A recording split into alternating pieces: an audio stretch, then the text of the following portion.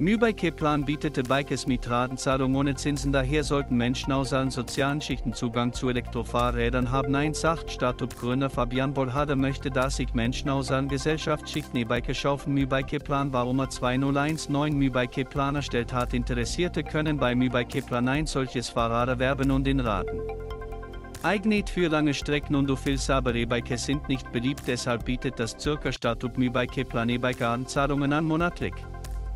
Opfings prüfte die Software zentralen Kreditauskunftssekund dem Zürcher Wirtschaftsdatenanbieter Griff da sichert die finanzielle Stabilität der 400 Fahrräder pro Monat das bis 2019 profitablen Investitionen von Ausnehbikes werden bei überwiegend Schweizer Herstellern zum Händlergewinn gekauft und dann mit höherem Gewinn 400 Fahrräder.